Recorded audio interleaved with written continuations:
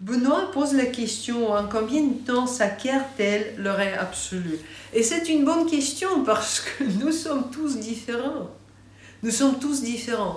Et chacun fait en fonction de son besoin, en fonction de son intérêt, en fonction de son... Euh, est-ce que vous jouez la musique ou pas? Parce que si vous jouez la musique, ça, euh, ça va plus vite. Si vous jouez pas la musique, bon, ça va plus lentement mais ça dépend vraiment de votre effort. Je peux vous dire qu'en travaillant la méthode de l'oreille absolue, vous pouvez couvrir toute la méthode et les 12 couleurs tonales, les 12 notes de la gamme, vous pouvez le faire en 2-3 mois. Et là, vous êtes déjà, vous avez tout ce qu'il faut pour continuer à développer votre oreille. Mais là, attention, l'oreille absolue, encore, c'est pas une chose fixée. C'est votre oreille tout simplement qui fonctionne différemment. Donc vous commencez à fonctionner différemment dès les premières leçons. C'est votre oreille qui commence à se réveiller.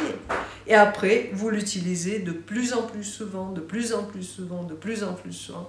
Et ça sera à vous à dire, ben, ah, j'ai l'oreille absolue. À quel moment, à quel moment vous changez de euh, j'apprends l'anglais à je parle anglais? Vous choisissez vous-même. Pareil avec l'oreille absolue. Donc, euh, en quel temps ça, ça va s'acquérir? Bon, vous allez le décider.